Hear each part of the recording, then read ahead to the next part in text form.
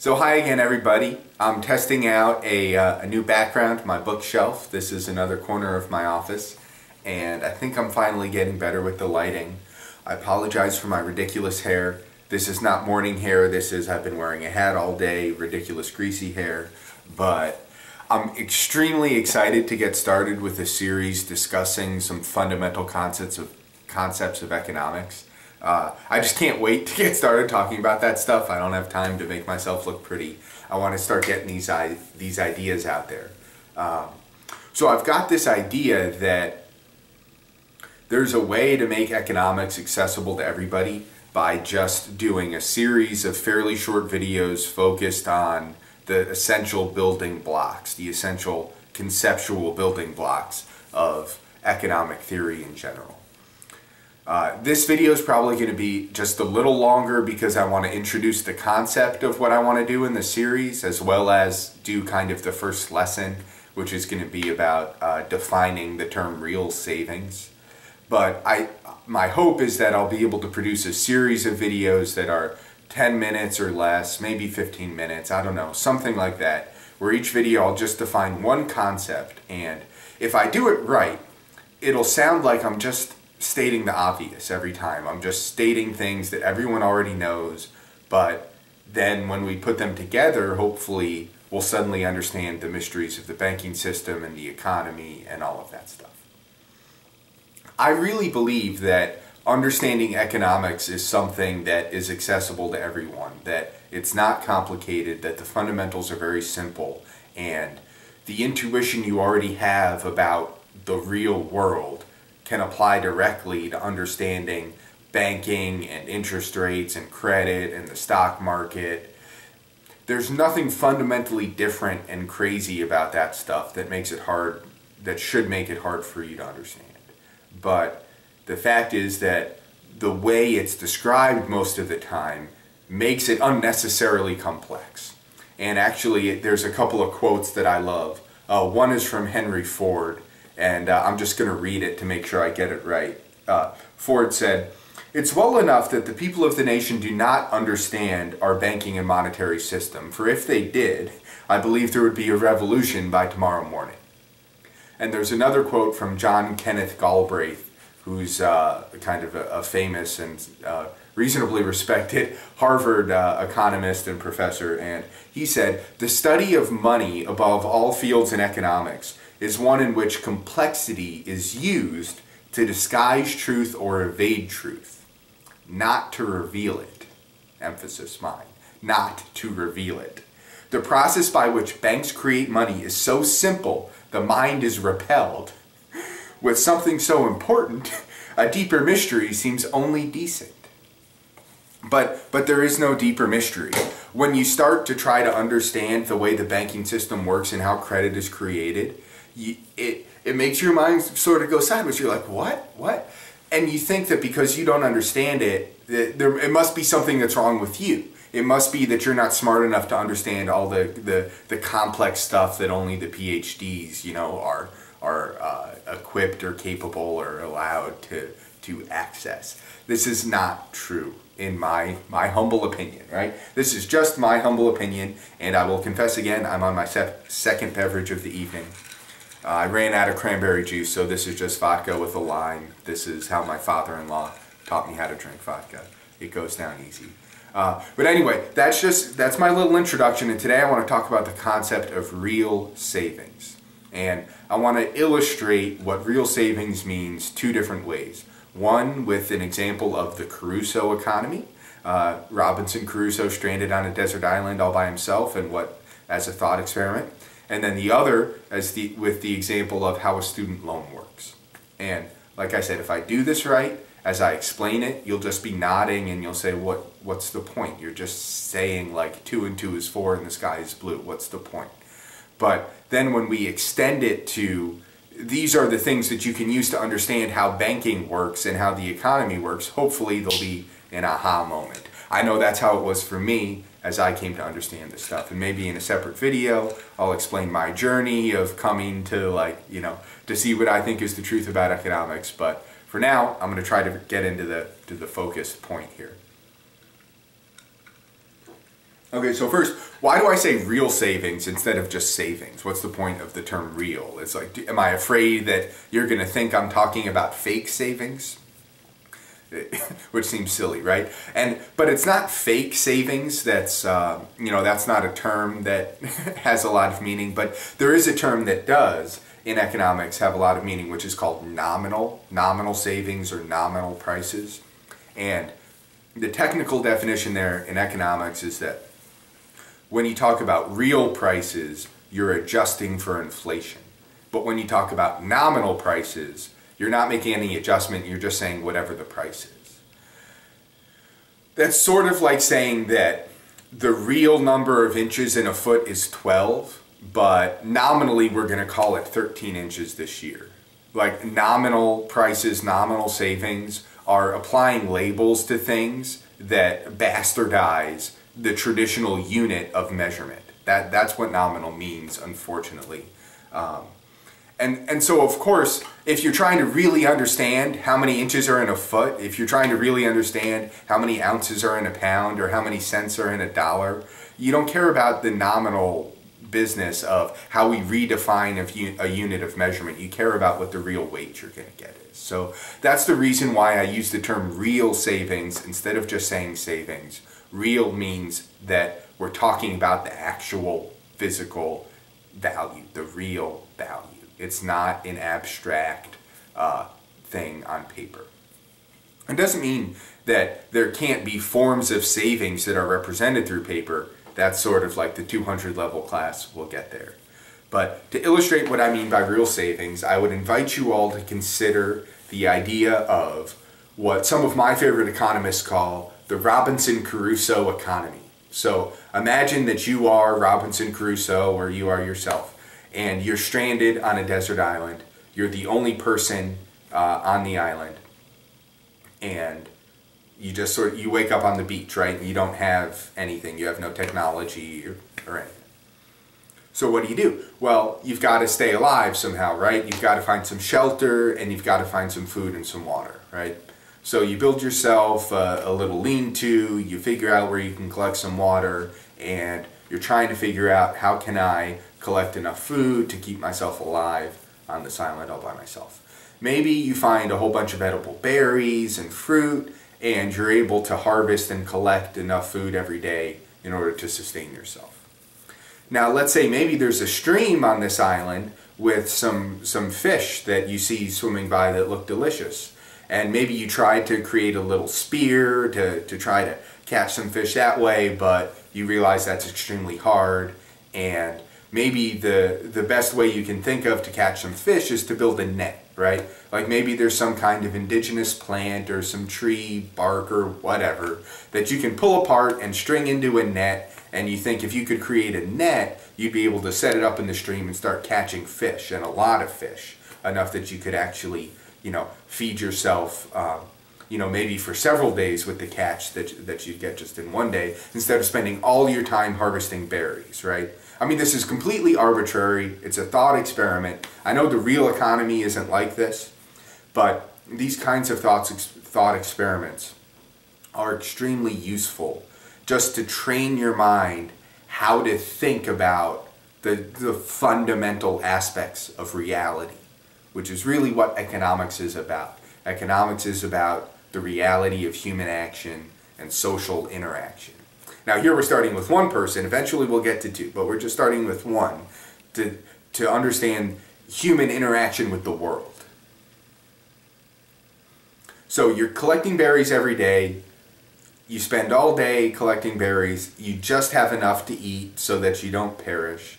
You want to build a net to catch fish, but you realize that to build this net, it's going to take like, I don't know, a couple hundred man hours, right? You're going to have to spend half your day every day for a couple of weeks building the net in order to get it to the point where it's going to help you catch fish. And the problem is, you don't have the you don't have the food, the resources to sustain yourself through that process. So let's say in our example that actually each day you're able to collect, you know, 10 or 20% more berries than you actually need to eat that day in order to stay alive and to stay you know, reasonably in charge of your faculties, right?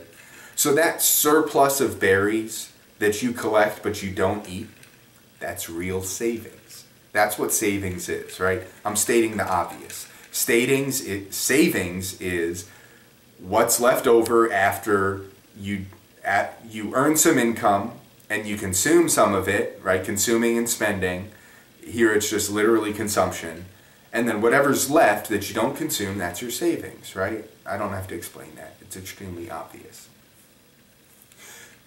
The, the fact of savings doesn't change when we get into a modern economy with complex banking and what I would call fiat money or Federal Reserve notes or US dollars as money and banks and all that. The reality of what savings is does not change. Savings is the surplus of production of your income that you don't consume.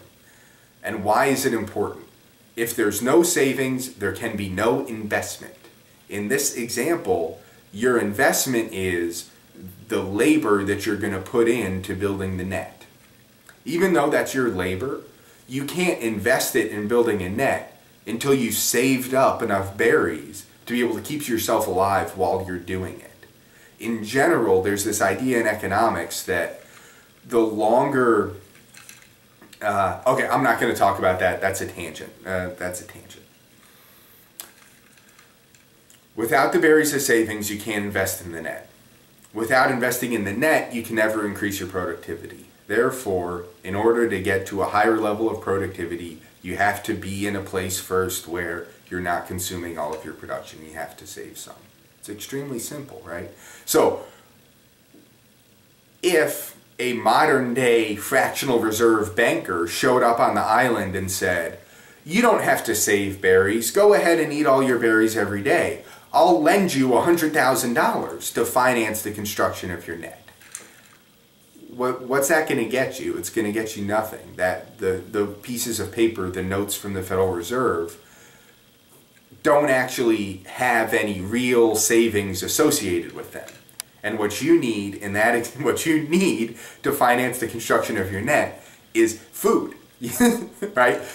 Money's only useful if it can get you food. And in this Robinson Crusoe economy, the only way to get food is for you to do work. So the only way for you to free up your labor to work on things that won't immediately lead to food, but will lead to food in the future and will eventually yield much greater food per effort, but with a delay. The only way to allow to put yourself in a position to capitalize on that and to sustain yourself through the delay is to accumulate some savings. Simple enough, right? Okay, so here's another example. Consider the idea of a student loan. A lot of people have experience with that. You want to go to college. You know that if you go to college, you're going to learn things and you're going to get a piece of paper that will increase the value of your labor on the market. You increase your earning potential by having a college education. However, you might not have the money to pay your tuition at before you start college. You don't have that labor value yet. You might not have the money to pay your room and board and buy your textbooks. So you take out a student loan. Excuse me. So, so what's going on in a student loan transaction? How does that work? What happens is you find a lender, probably a bank, and the bank agrees that if you go to college, you're going to increase the value of your labor. And so they feel comfortable that your future earning potential is good collateral for the loan that they'll give you they feel confident that there's a good chance you'll be able to pay them back. Because the reason that you're asking for the loan is you want to go to college, which is a great investment in your future. Good for you. So what happens is you write a note to the bank that says, I owe you whatever you're lending me. I'll pay it back in the future. On this time scale, I'll pay it off over five or ten years or whatever it is with this interest rate and these payment terms. That's a note. That's a, a, a, credit instrument that you give to the bank. It's a promise to pay. And in return, the bank gives you money. Right? But the, the, the reason why you need money is because it's immediate value. It's value that exists already. Your labor, your college educated labor, is what economists would call future value. It doesn't exist today. It's likely to exist in the future with some probability, but it's not certain. Future value is, is real in the sense that someone like a bank is willing to lend you money against it. But it's not real in the sense that you can't eat it today, right? It's the same for Robinson Crusoe. If he builds the net, it has a certain future value that's related to the number of fish per day he can catch with that net. But the fish don't actually exist yet. He can't use he can't eat the fish while he's building the net. The fish only come into play after the net is built. So the reason why he needs savings or he needs a loan of real value and the reason why a student needs a loan of real value is because they only otherwise have access to this uncertain future value and they need some way to sustain themselves. The perverse thing about the way the modern banking system works is that when you take out a student loan, the bank doesn't actually have to have any real savings they they are they are allowed by the law of the land through under the the Federal Reserve Act of 1913 it's been institutionalized that banks are allowed to lend money into existence. Now, explaining what that means, I'm going to do in another video. All I wanted to do in this video is illustrate the idea that there is such a thing as real savings. Real savings is present value that exists today that has already been created. It doesn't have to be food. It can be anything that's valuable to anyone. But it has to actually exist, right? I mean, that note, the note that you give to the bank that is your promise to pay for the student loan, that's something that does have value to the bank. They're accepting it as collateral. It's, a, it's worth something. But but the reason it has value is because it's backed by a, a, potential future value. So its value today is discounted and you can't, it, it, just, it just doesn't exist yet. What's the little teaser I can give for the future? Where we're going to go with this, oh, should I pick what I'm going to define next? I think I had this figured out before. I'm going to do real savings first. I Maybe money might be next. I might define money next. I'm going to start with real savings, I think, and then we'll do money. That's probably the right order. So I'm going to try to just wrap this up. The, my, my problem is I get so fired up about this stuff. There's so many connections. I, like I said, I really believe that it's not that complicated. Anybody can understand this. But I've spent too much time reading these books that I want to say everything at once. And I know that's not the right way to do it. So I'm trying to stay focused on the idea of real savings, right? It just, just to understand that when we talk about savings in the economy, we're talking about real value that's already been created that hasn't been consumed. And it turns out that knowing the state of real savings in the economy is extremely important to entrepreneurs. It's extremely important to investors. It's extremely important to everyone. It's extremely important to the health of the economy. If a society has a large amount of savings, they have a large pool of resources available for investment and increasing future productivity. And what's more, those investments are, are more likely to pay off because there's all this savings that represents potential future demand. So if you bring new products to market a year from now, there's a good chance someone will be around to buy them because you know that people have saved up all these resources. And if savings are very, very low, well, that means there's, there's far fewer resources available for investment, and actually for good reason, because investments are less likely to pay off because there's less savings around that could represent potential future demand. And the sad thing about the way our financial system works today is that it's entirely designed to obscure the reality of the current state of real savings. So if that interests you, if that idea interests you in understanding it better and why and how and what does it mean and how should it work, if that interests you, please tune in for the future of this series. I'm pretty sure the next video will be on money trying to define money, but I reserve the right to change my mind. We'll definitely define money eventually, Uh, I think I'm about 80% sure it'll be the, the next one, but I'm disorganized Don. I don't like to plan ahead. Uh, I just like to, um, to, to, to let the universe tell me what to do. And the universe tonight told me that it was time to talk about real savings. So I hope that this resonated at least with some of you. Please ask questions. If this did not make sense, please ask questions. There's nothing I love more than trying to figure out new ways of saying the same thing when we're talking about something important. And in my mind, there's really not much more important. There's like a few things, and we could argue, you know, there's, uh, there's interesting debates to have. There's a few things that are probably more important, but the, the fundamentals of how economics works and how we can unleash the power of the free market to improve everyone's standard of living I mean, that's some compelling stuff. I think there's some value there. So thanks for watching. Leave me your feedback. Please ask questions. If you have a question, I'm sure there's plenty of other people that have the same one, and I would love the chance to try to get into the dialogue with you, bring you guys along. Maybe, I'm sure, not maybe, I'm sure I will learn something in the process. Even more than questions, I would love to hear contrary opinions. I think what I've said so far about real savings is fairly non-controversial. But uh, I always love to hear contrary opinions. So please share your feedback, and I'll see you next time.